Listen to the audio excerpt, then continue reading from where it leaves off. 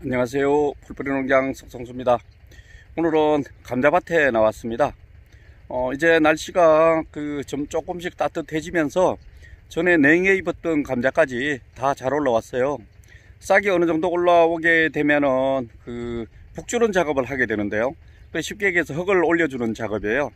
작년에는 그 4월 22일 날 줬는데 올해 약간 냉해를 좀 더 입은 것 같아서 하루 늦춰서 4월 23일 날 할 예정인데 그 이전에 좀 큰 거 매가면서 매는 방법하고 매는 시기 그 다음에 조금 더 빨리 올라온 집에 매는 거 여러 가지를 한번 해가지고 왜 매야 되는지 매는 방법 매는 시기 이런 거에 대해서 자세하게 한번 얘기해 보겠습니다.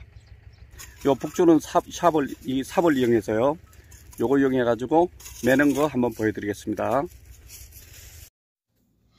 냉해를 두 번씩이나 입었는데도 대부분이 잘 올라왔어요. 한 10폭이 넘도록 쭉 나가는데도 한 폭이 정도 덜 올라왔을까 싶을 정도로 굉장히 잘 올라왔어요. 이 밭을 멜게 아니고 이 밭은 23일 날멜 건데 그 중에서 좀큰 거 몇 개 매면서 다른 집과하고 해서 보여드리겠습니다.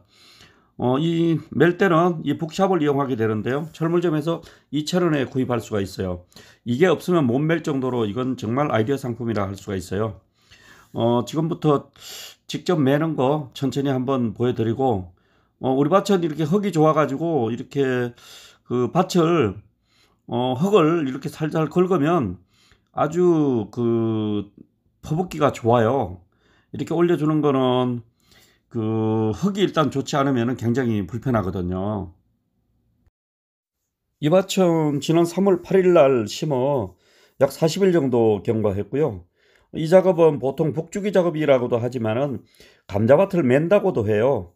어, 그래서 이제 보통 보면은 파종 후에 한 40일 내지 50일 사이 하게 되는데 제가 23일 날 하게 되면은 한 48일 정도 만에 하는 거죠. 보통 40일에서 50일 사이라고는 하지만 어, 빨리 할수록 일단 좋다고 보면 돼요. 빨리 바깥으로 나와 있어야 어, 싹이 잘 자라고 싹이 잘 자라야 밑에 뿌리로 영양분을 많이 내려버리기 때문에 북주기는 시기는 최대한 빨리 할수록 좋다고 보면 되겠습니다. 40일만 넘어가면 언제든지 해도 큰 상관이 없고요. 이렇게 작은 것도 이렇게 흙을 떠버주게 되면은 올라오는 게 굉장히 잘 올라와요. 이 작업을 할 때는 그 줄기수 조절을 해줘야 되는데요. 이제 눈에 따라서 줄기수가 굉장히 많이 나오는 것들이 있어요. 어, 우리 같은 경우는 이제 보통 두 개 정도 남기는 걸 기준으로 하는데 지금 이제 세 개 올라온 거를 하나를 뽑았어요. 하나를 이렇게 제거를 하게 되거든요. 뭐 구태여 세 개짜리 뽑을 필요는 없지만은 가장 기본은 한 개짜리를 했을 때 큰 감자가 나오고 조금 빨리 수확을 할 수가 있고 두세 개 정도면은 감자 크기나 감자 그 이 숫자도 적당하기 때문에 어느 정도 괜찮다고 보면 되겠습니다. 그리고 이제 안 올라온 거 이렇게 캐가지고 보면은 이거는 너무 깊게 묻혀 있던 게 돼가지고 싹이 올라오다 올라오다 지쳐가지고 지금 저렇게 있는 상태예요. 저럴 때 묻어주면은 뭐 나중에 장거 몇 개 달릴 정도지 이미 조금 늦었다고 보면 되겠습니다.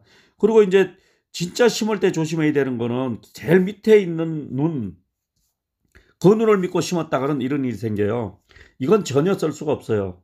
그 바로 밑둥하고 그 옆에 있는 작은 눈인데 그 눈을 믿고 눈을 따가지고 넣었는데 전혀 안 나오고 있거든요. 이런 건 눈 딸 때 다음에라도 하고 그냥 묻어버리고 말죠.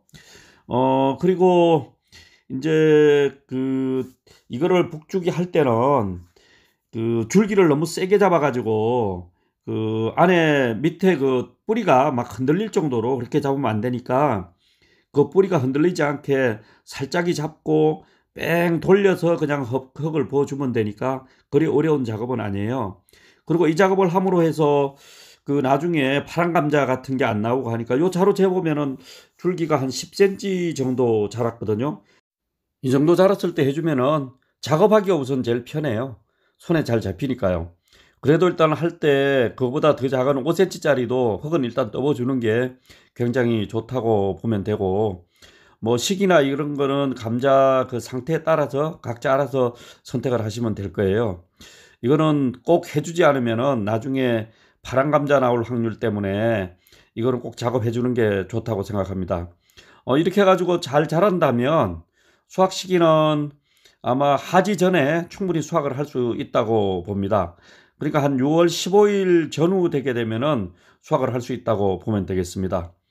어, 올해도 그 감자 농사 잘 되기를 바라며 어, 끝까지 봐주셔서 감사합니다. 어, 도움이 되셨다면 구독, 좋아요 부탁드립니다. 감사합니다.